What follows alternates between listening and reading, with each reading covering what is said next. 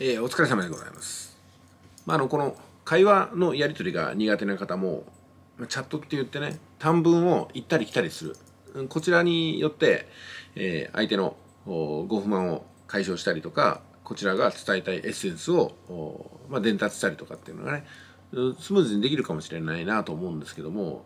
まあそもそもこの会話が苦手な人がチャットがじゃあ得意になれるかどうかっていう問題もあるんですけどもおそらくねこの覆面 YouTuber タカさんこのチャットをこう激推ししてるわけなんですけどもこのチャットが上手になるようなこのカリキュラムも入ってるんではなかろうかというふうなことも考えられるわけなんですよ。まあ、これについて私カリキュラムの中身をねここでお話しするわけにはいかないんで何とも言えないんですけどもここはタカさんどうですかね？チャットトレーニングルームみたいなのがあったりするもんなのかどうなのかもしくはよくあるパターンですけども例えばね LINE のやり取りのスクリーンショットをこういっぱい並べていてこういうふうなお問い合わせにはどんな返信をしたらベストでしょうか？ABC みたいな感じでこう、ね、鍛えていけるような、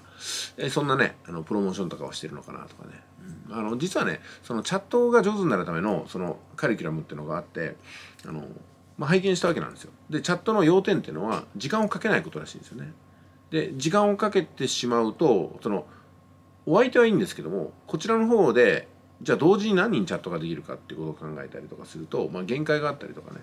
まあ、そもそも一人の人のチャットに何時間も付き合うっていうのはぐっとパフォーマンスが落ちるのとじゃあそれによって制約するかどうかっていうのがまたね分かんなくなってくる。逆にそのチャットで問題解決しちゃう場合はうんそのチャットをしたがゆえに商品買ってもらえないっていうところもあるんですよね。それについてはどういうふうに対処してるのかっていうことがこれからチャットで商売をしようとしている顔出しをせずに会話をせずにチャットで商売をしようとしている人の最大の懸念になると思うんですけどもその辺はどのようにご解決されてるんでしょうか？というのが今回のご質問でございます、えー、他の方にもねこれかなり聞きたいことではないかなと思いますので私が代表して聞かせていただきました。ではよろしくお願いします。